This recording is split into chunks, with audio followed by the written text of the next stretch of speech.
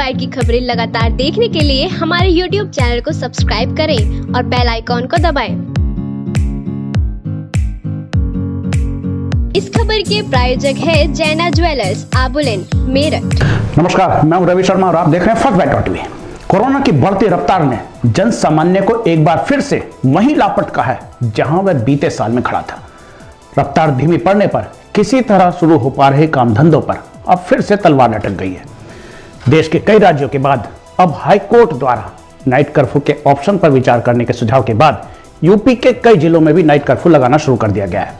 यदि ऐसा ही रहा तो अगला कदम क्या हो सकता है, यह समझा जा सकता है। अगला कदम मध्य प्रदेश के रूप सरीखा सामने आ सकता है।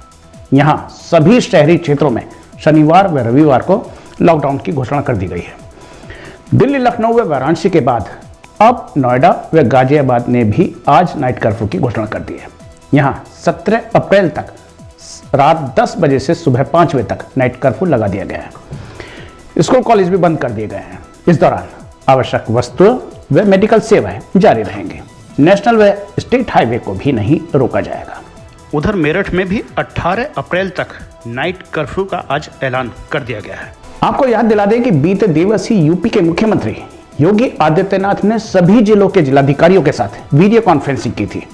योगी ने साफ़ कहा है कि 500 से ज़्यादा केस वाले या रोज़ाना 100 से ज़्यादा नए केस वाले जिलों में जिलाधिकारी अपने विवेक से नाइट कर्फ्यू लगाने का निर्णय ले सकते हैं।